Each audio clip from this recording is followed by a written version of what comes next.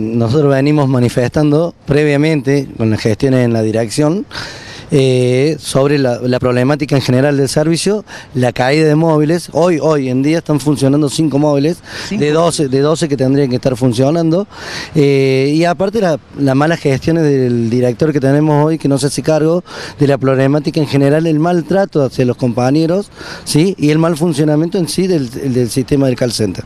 ¿Con cuántas debiera funcionar o sería el número ideal, Federico? El número ideal tendría que ser 20 ambulancias para la población que hay en Córdoba Capital, pero el mínimo sería de 12 móviles a 14. ¿Y están funcionando con? 5. 5. Por eso venimos a denunciar eh, esto para que se gestione por más móviles, arreglos e insumos de los propios móviles, ¿no es cierto?